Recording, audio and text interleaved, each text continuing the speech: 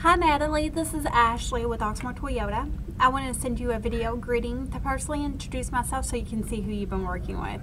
Thank you for speaking with me the last few days about your interest in coming out to the dealership. I went ahead and set an appointment for you with Tom Heitler for Friday at 1130.